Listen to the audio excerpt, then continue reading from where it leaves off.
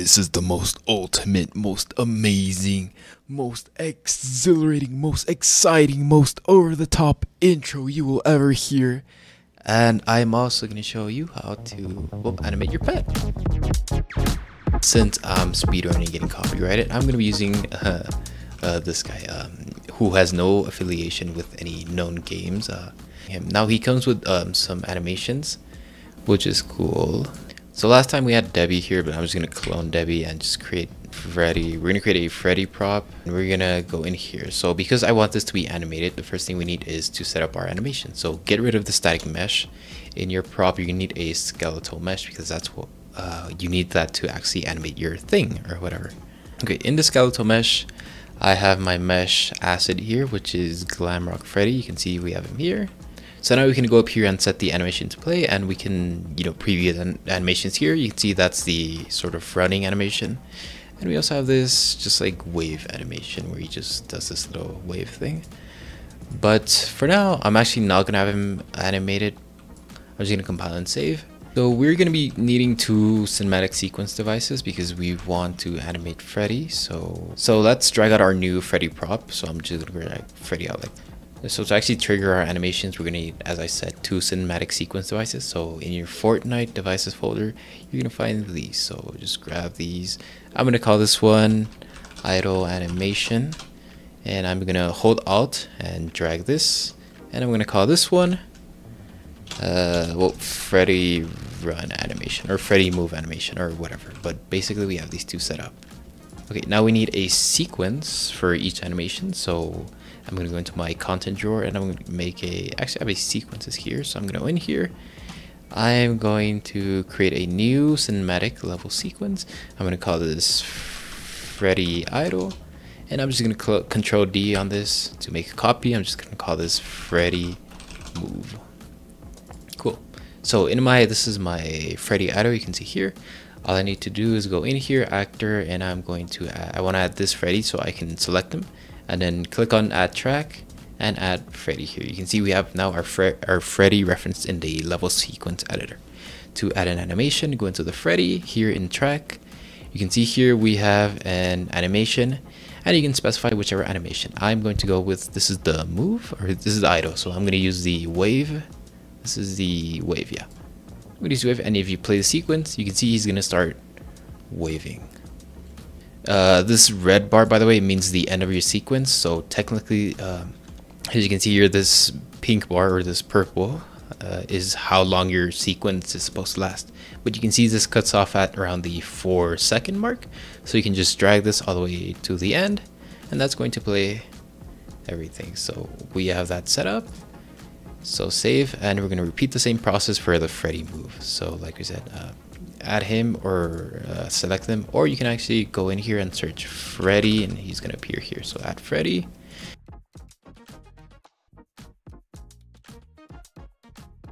Like that and save that. Now in my cinematic sequences go in here. This one is my idle animation. And for sequence we're gonna go search for Freddy idle and you're probably saying, well, what if, you know, he's standing for more than eight seconds? The animation lasts for more, for more than eight seconds. Well, we can just loop the playback, which is going to loop the animation over and over until we stop the sequence. So that's going to do that. And same process with the Freddy run animation. So pick your Freddy move and then uh, loop playback. Okay, we have our animations all set. Now we can actually go into the code. So before we begin, last time we were spawning our pets, but what I found is unfortunately you cannot apply animations to creative props that you instantiate from your code, which means you cannot animate things that you spawn here through verse, which is kind of annoying. So if we do want to apply animations, unfortunately, we're going to need an already instantiated object within our UEFN. So instead of using a Debbie asset here, we can make an at editable. And we're going to make a Freddy prop creative underscore prop equals creative underscore prop. This is going to allow me to specify the creative prop in my editor. Right. And next thing, we want to get rid of our spawn Debbie function here because we are not going to be spawning our pet anymore. And you can see this is going to complain because we need a new function which is going to uh, handle the remote. So I'm going to make a new function here. I'm going to call it start following player. It's going to take an agent or of type agent.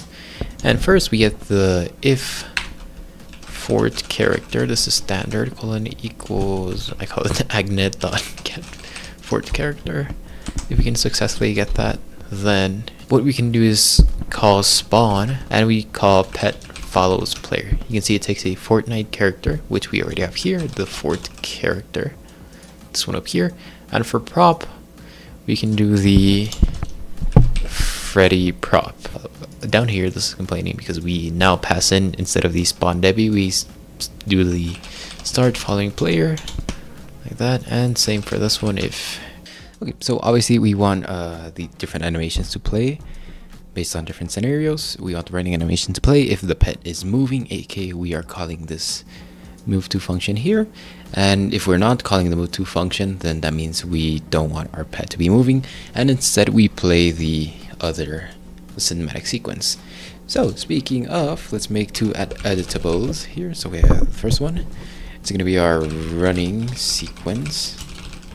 Sequence like that and you can press shift go up here shift alt down it's gonna copy it uh, did that one too many times so idle sequence here we go so we have our two sequences I want my pet to sort of stop at a certain distance from my player because currently our pet is going to be always following our player position and it's going to eventually go inside of the player so I'm going to create a new variable. I'm going to call this distance allowed near player.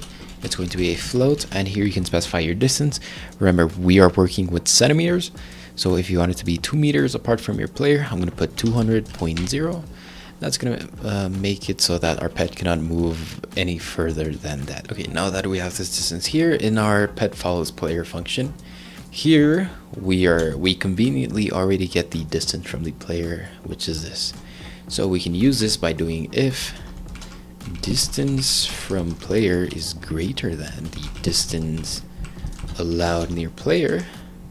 What do you think should happen if the distance is greater than our distance allowed? Well, we can move them. So we move this inside. We can move the pet, sorry. So we can move this inside. If this distance, so if the player position and the pet, if that distance is less than what, we, what we've allowed, then it's just not going to do anything. It's just going to skip over the iteration until your player eventually moves out of that distance. And then that's going to make this distance from player be higher than the distance allowed. For example, the pet is like 10 meters away from us and 10 meters is greater than 2 meters. So they're going to get the time and they're going to be able to move. Next thing, I want my Freddy to be to the right of my player. So we're gonna be using, remember, we're gonna be using this uh, distance allowed near player. So what we can do is get the player right, player right, go to the Fortnite character dot get view rotation dot get local right and then what we can do here is in our move to function we can to the player position we can add the player right and multiply that by our distance allowed near the player. This is going to be our player right.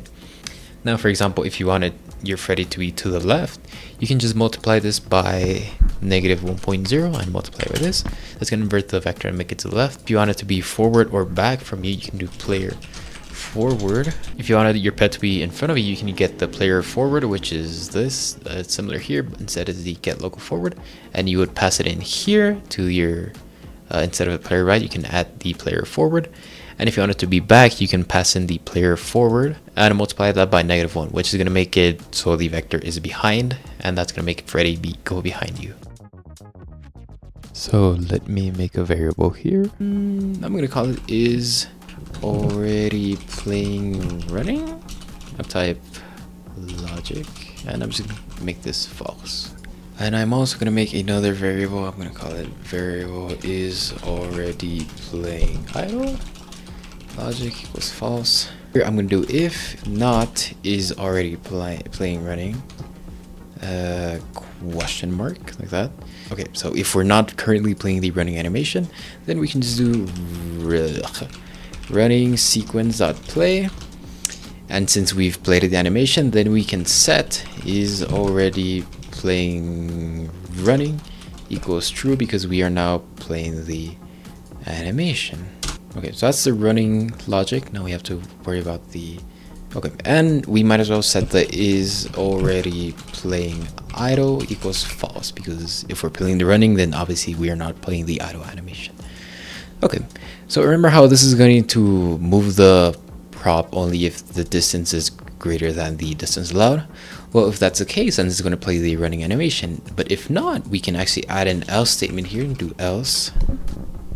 And we follow the same principle. So if not is already playing idle question mark then we do idle sequence dot play and we also want to set the is already playing idle equals true and we set the is already playing running equals what do you guys think false because if we're playing the idle then we can't be playing the running at the same time. So, so if we go over our code, it's going to loop over that. If the distance is greater than, yes, okay. If not, then we play the idle sequence only if a current idle sequence is already not being played. Then let's say in the next frame, my player is farther apart from the distance allowed then well we know there's not a running animation being played. So we play that animation and we set that to true to the idle playing. Also one last thing sorry. So if we do want to play our, our running animation we have to do the other animation so the idle sequence dot stop. That way there's no issue there. And same here we if we are not playing the the idle animation we do running sequence dot stop and we should see that in action. Okay as you okay as you can see there's two issues. Firstly freddy is not facing our player which ideally we would like. And secondly he's moving a bit too fast. So what we can do is here in the, remember this, this was the speed variable because time is equal to the distance over speed.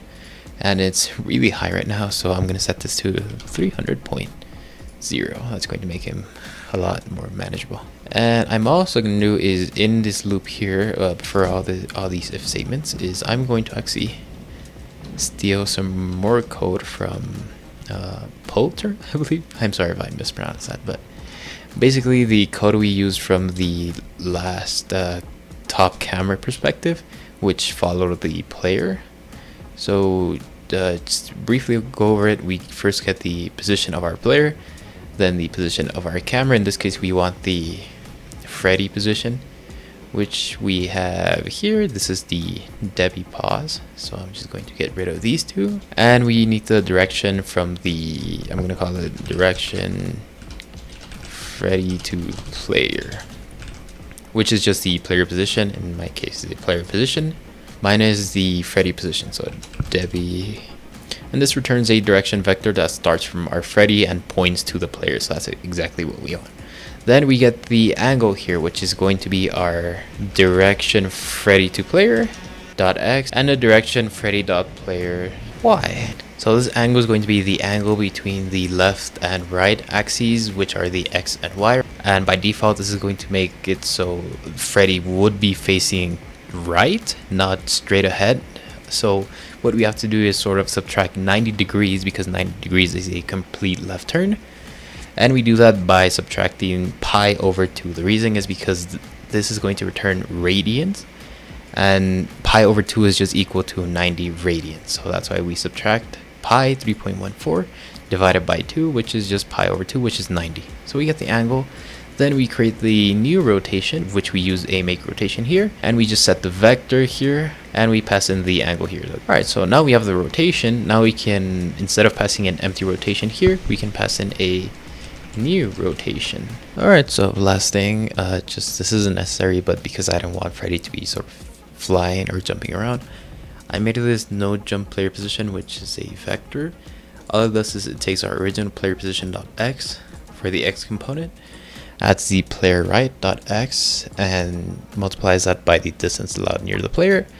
And then same with the y, gets the player position y, the player right y, and multiplies that by the distance allowed near the player.